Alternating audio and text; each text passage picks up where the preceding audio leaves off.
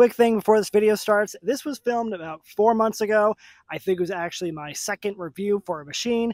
My editing style has changed quite a bit, so please bear with me. Also to preface, I got no specs for this machine. However, I did want to review it still and did want to give you guys an early preview on what you might expect from this tattoo machine. I am still very new to reviewing things, so please be patient with me. I will see you guys at the end. I'm going to go over my final thoughts and everything else.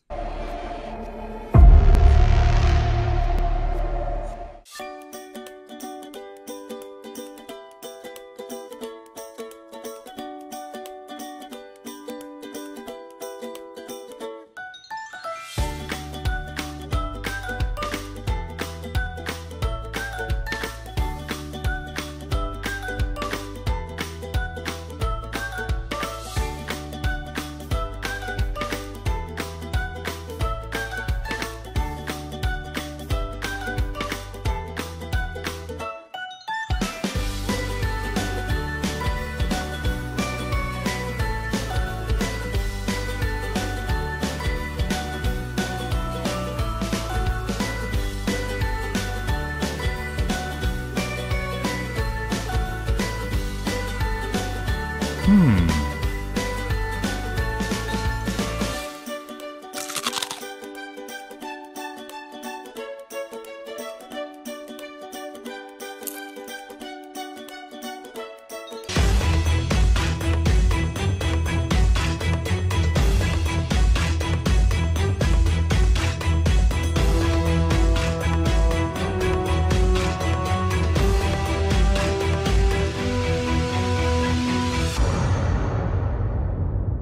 The Dragonhawk S8 is not out quite yet, but I have been able to use it for about two days. It's pretty soft, I would say 3.5 stroke. They didn't give me a booklet.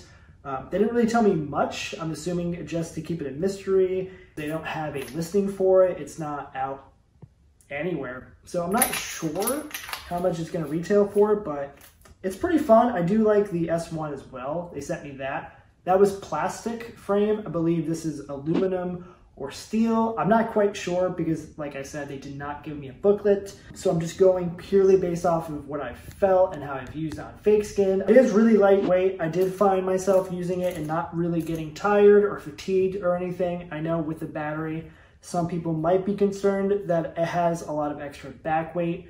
I didn't really find that to be the case. I thought it was actually pretty evenly weighted. I did use a RCA cable with it and I did find that it was slightly lighter, not by much. So I think if you're someone that actually enjoys using wireless or attachable batteries, you're not going to really feel it. The ridges on the grip are actually really nice. I thought at first that they wouldn't be quite as impactful as they are, but given that they're just a little bit, you can fit your thumb in there, you can rest a part of your middle finger in there or your pointer finger, really however you like to have it. If you have it wrapped up a lot, you might not notice it as much. If you're someone that just uses it on fake skin, I think you'll be fine. Shut up for ASMR.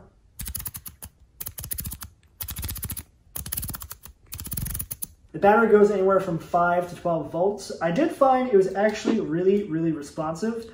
I haven't used it any longer than, I don't know, two, three hours. I think one bar came down out of four. It's really, really responsive. It's really, really clicky and tactile, which if you know me, you know I love clicky tactile buttons. It turns on and off pretty quickly.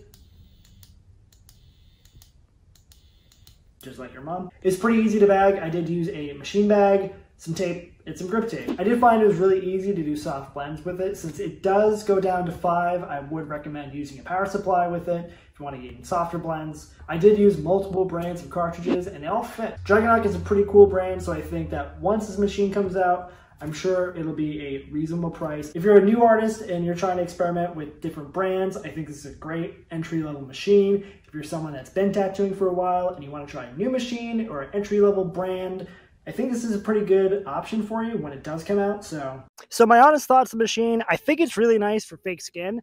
I think Dragonhawk should actually be disclosing what machines are for what, since they are beginner friendly for the most part in terms of budget. I know that the S1 is for fake skin only because it's made out of plastic, much like the S8, which is this machine. I think it's aluminum. I wasn't quite sure, so I decided to stick to only fake skin for practice and cartridges being interchangeable in and out. So I didn't do any human testing or anything like that. I didn't think it was responsible for me if I didn't have any proper paperwork, which that's not really on Dragonhawk's fault. They really wanted to send me something to get my opinion. At the time, it's not commercial ready, but they may change it. They might re release it. But at this moment, I think it's pretty good for a fake skin only tattoo machine. I believe it's a 3.5 fixed stroke. It did feel really soft. I thought the grains were nice. It being that I've had it for about three months, I think, and I did give it away. I am happy that the person I gave it away has a use for it. It's really nice outside, and I'm happy that I can share this with you guys. I'm happy that the channel is evolving. I'm happy that you guys are asking me questions. I think when the S8 comes out, I think that it'll be mostly light, light stipple work, and it could push lines for like three round liners or five round liners. I believe the kit it came with gave me seven round mags and then three round liners. I also tested FYT and Kwadron. It couldn't really push larger needle groupings, but that's not really what it's made for, at least I don't think. The ink that it came with, I believe, is only for fake skin use since I didn't get any information regarding its ingredients or anything like that, but everything in the kit seemed appropriate for just fake skin. I thought it was really nice and really smooth. If you're doing gray wash, lightweight machine is kind of what you're looking for, at least me. I want to thank my patrons. You guys are really awesome. I am possibly needing surgery, possibly not. We'll see what time brings us, but Thank you guys so much for watching. I hope you enjoyed. I hope you learned something. And it's hot. I think it's like 98 degrees. I'm also dramatic and I'm also like a ginger, so my temperature gauge is kind of off. I'm also curious to see how far this mic really goes. So far, I think I'm about, I don't know, 12 feet, 6 meters. I don't know. I'm not an adult.